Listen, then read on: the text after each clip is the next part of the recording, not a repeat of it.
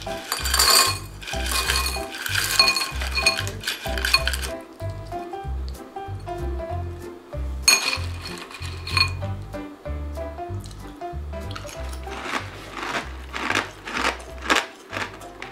you guys, welcome to I Cook and Paint. Thank you so much for watching. I'm so happy to see you because today I'm gonna show you how to make your very own cornflakes. Now I know what you're thinking, what a waste of time, it's not worth the effort. Why would I make cornflakes when I can just buy them?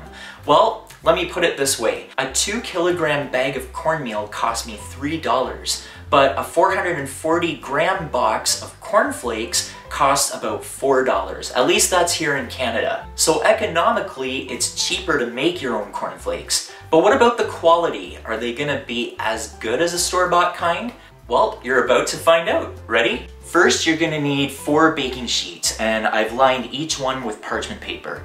Now, each of these measures 10 by 15 inches. The recipe on the blog is going to be for one tray, which will give you about two very small bowls of cereal, which you're probably gonna wanna make more than that. So whether you double, triple, quadruple, or whatever, that's up to you. Now in this bowl, I'm measuring three cups of cornmeal. To this, I'm gonna add six tablespoons of sugar and one and a half teaspoons of salt. Mix this all together until it's all well combined. Now I'm gonna add three cups of water. Just mix it right in. This has to look almost like a pancake batter.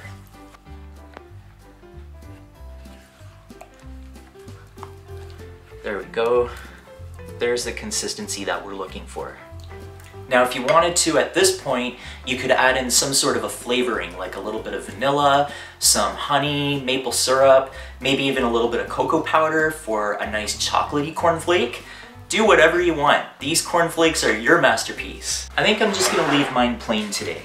So now you take your baking sheets and spread this mixture evenly among all four. All right, so a quarter here, quarter there. A good way to know whether your consistency is right is if you have this puddling effect going on. See how the water is kind of oozing around the edges? You want to be able to spread this very thinly. The thinner the better. And if you feel that you have to add a little bit more water right onto the baking sheet to thin it out, then feel free to do so. And you want this to be as even as you can.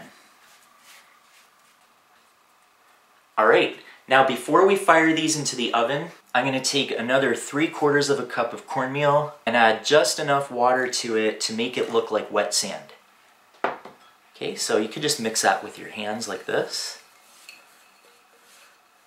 We're gonna sprinkle this over top to give our cereal a little bit more of a crunch. So that's what it should look like right there. You really don't even have to measure the water.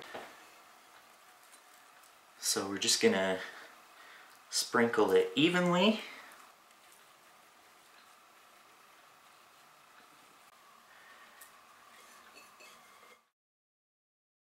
All right, now we're gonna bake these at 350 Fahrenheit, but one really important thing is if you do have multiple trays like this at different levels, make sure you rotate them halfway through. Now let these bake for anywhere from 10 to 15 minutes. Really depends on how much water you use to smooth out your cornmeal, the temperature of your oven, how many trays you're doing, etc. It could take even closer to 20 minutes. They should have a really dry appearance and the surface should be all cracked. Now I want you to turn your oven down to 275 degrees Fahrenheit and wait until these are cool enough to handle. Then you can peel it off the parchment paper and tear it into little pieces. Or should I say flakes.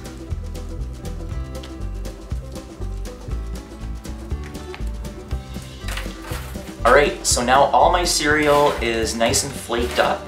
Now we're going to return these to the 275 Fahrenheit oven and let them bake for 30 to 40 minutes. Alright, now these have been in here for 20 minutes and I just want to show you what they look like so far. I always like to give them a stir about halfway through the second baking just to make sure everything dries out evenly. You might also want to rotate them as well. Now we're looking for a flake that is completely crispy without any chewiness to it at all. I tasted one and found that there was still a little bit of a chewiness to it, so I turned off the oven and let it sit in there with the door closed for another 15 minutes, and that dried them out completely. And Mmm. Hear that crunch? That's how your cornflakes should sound when they're ready. Alright, once they cool completely, you can put them into a jar. And then... Oh... We have a lot of cornflakes too. I'm gonna try some out here. Now I'm gonna take some milk. Ah, very nice. Alright, let's grab a spoon here. Doesn't that look delicious?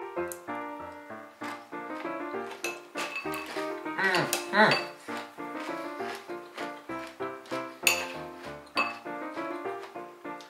I don't know if you can hear it crunching, but I sure can.